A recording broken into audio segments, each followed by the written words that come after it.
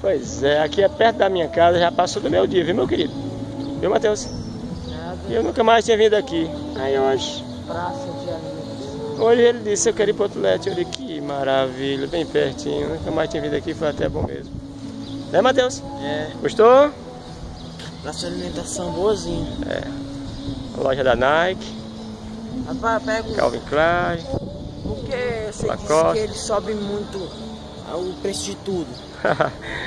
Ô Matheus, eu não sei de onde veio esse assunto agora. Isso foi da outra vez que eu passei por aqui e falei contigo, foi Matheus? Foi quando eu queria. Meu filho, tudo isso aqui tem um custo, né Matheus? Ah, depois te falo isso aí, viu Matheus? Tá bom? Ok? Que é um lugar afastado.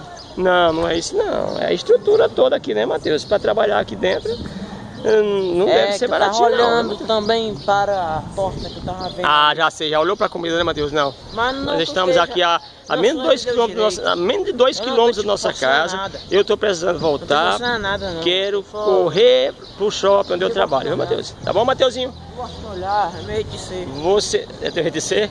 Mas você falou que, né, Matheus? Você, até a gente combinou que a gente nem, né, Matheus, nem ia entrar, não foi, Mateuzinho? Mas tá bom, Matheus. Daqui a gente vai pra casa já já. Os passarinhos cantando. Passarinhos, viu?